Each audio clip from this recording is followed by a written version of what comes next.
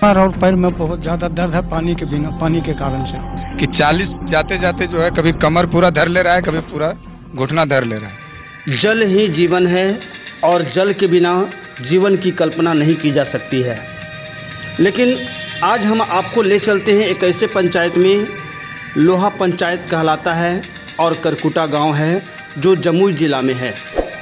कई ऐसे गाँव हैं दर्जनों गाँव हैं तस्वीर में जो लोग दिख रहे हैं, यह उसी जल का प्रभाव है। इस गाँव का जल जो इनके ज़िंदगी को प्रभावित कर चुका है। गाँव के बच्चों का भी जीवन इसके जल से प्रभावित होने लगे हैं। यहाँ दिख रहे लोग पूरी तरह इफ़ेक्टेड हैं। आप इनके शारीरिक परिवर्तन को आसानी से देख सकते हैं। यहाँ के लोगों की माने तो ऐसी स्थिति यहाँ के पेयजल की वजह से है। यहाँ के लोग ऐसे पानी पीने को मजबूर हैं, पेयजल समस्या को लेकर यहाँ के लोगों ने काफ़ी आवाज़ उठाई, लेकिन कोई ठोस व्यवस्था नहीं हो सकी। दस साल पहले यहाँ फ्लोराइड मुक्त जल के लिए वाटर प्लांट लगाया गया, लेकिन फ़िलहाल दो साल से वो भी मृत प्राय हो गया है। फलता यहाँ के लोग उसी दूषित जल को पीने के लिए मजबूर हैं। नतीजा, पूरा का पूरा गाँव आज इस पानी की वजह से जवानी में ही बूढ़ा होते जा रहे हैं। नज़र डालते हैं आज की इस रिपोर्ट पर। आखिर पानी के बारे में यहाँ के लोग क्या कहते हैं और किन परेशानियों से गुजर रहे हैं? आइए डालते हैं एक नज़र। क्या नाम हुआ? पवन कुमार साहब। कौन गाँव है? हाँ, कौन गाँव है? कुरकुट्टा। कुरकुट्टा गाँव लोहा पंचायत लोहा पंचायत। अच्छा ये क्या परेशानी हो गई है आपको? परेशानी यही है सर। मैंने पहला नंबर में जो है परेशानी है पानी से दांत भी सादा सड़ाता है। उसके नंबर दूसरा नंबर में टाँड़ ज़्यादा दर्द भी करता है। कमर। कमर। तीसरा नंबर में ना सार गोड़ चलते चलते गिर जाता है। चौथा नंबर में पानी तो लाल निकल रहा है। और पाँचवा नंबर में यहाँ जो है पानी रख देता है बाल्टी में मैंने दो घंटा या ज़्यादा नहीं लगेगा। लाल हो जाता है। खाना अनाज नहीं धसता है और परेशानी से तबीयत भी खराब हो जाता है। ये कब से आपको पता चलना शुरू होता है? जैसे पता हमको हो रहा है लगभग बीस साल से हमको ज़्यादा परेशानी कर रहा है।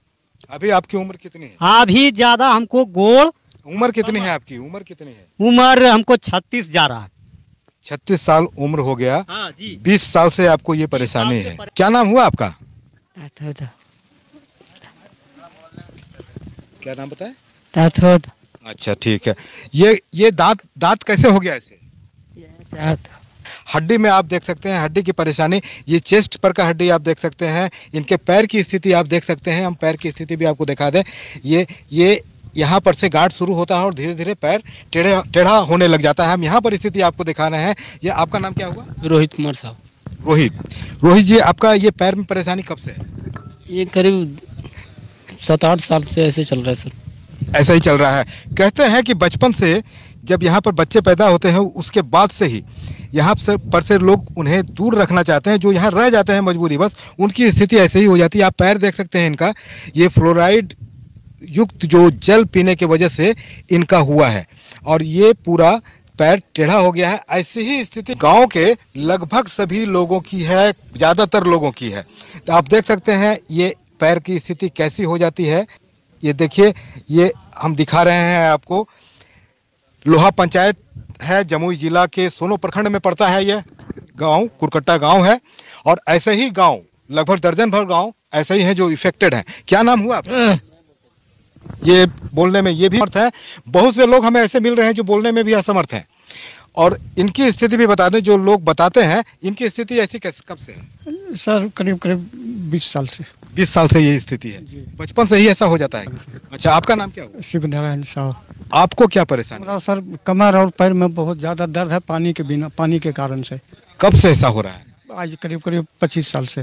जी नहीं सर पानी पानी पानी से ही हो रहा है सर। आज से हमरा तो एक जब से करीब चालीस तीस से ऊपर हुआ उसके बाद जो है सब डे गोड़ हाथ सब धर लिया न बैठने पाते हैं नीचे बैठ नहीं पाते हैं लेटरिन नहीं कर पाते हैं न पेशाब कर पाते हैं सब गोड़ हाथ सब हम धर लिया ये पानी फ्लड के चलते, न सरकार कुछ आता है, खाली वोट लेने के टाइम में वोट ले लेता है, उसके बाद जा कर के सोच रहता है। यहाँ कोई देखने वाला नहीं है। हम लोग क्या करें, जो पानी की टंकी चलता था, बहुत दो साल से जो है हम लोग हम लोग पानी चापा के पी रहे हैं, उसमें भी आ- के प्रशासन जो है से लाल लगवा दिया। अब कहाँ से हम लोग क्या करें? वही पानी को व्यवस्था कुछ किया नहीं? कोई कोई व्यवस्था नहीं है। अच्छा ये जो मशीन यहाँ लगाया गया है पानी पीने का जो वो भी नहीं चालू है वो भी खराब है। वो कब से बंद है?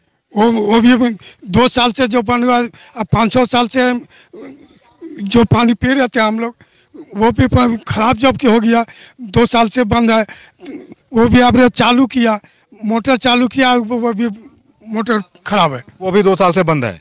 वो भी जैसे सर हम बराबर यहाँ नहीं रहते हैं बराबर हम बाहर रहते हैं। अब महीना पंद्रह दिन अगर चार महीना पाँच महीना हम आते हैं दस दिन पाँच दिन रहते हैं फिर चले जाते हैं। इसलिए हम पूरा शौक से जब मुखिया नहीं था तो भी सार्वजनिक जीवन से जुड़ा था। और ये 2005 की घटना है जब मैं एक एनजीओ के थ्रू पीएचडी से जुड़कर शौचालय से संबंधित कार्य कर रहा था। उन दिनों जमुई टाउन हॉल में एक बैठक हुई थी उसमें पीएचडी के मंत्री भी आए हुए थे।